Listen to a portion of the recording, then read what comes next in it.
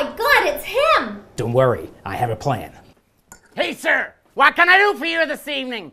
Maybe a cocktail, some moonshine, maybe a bucket of pork scratching? You know I'm here. Bugsy sent me. Give me the strongest thing you got. But, sir! Do it. Do it.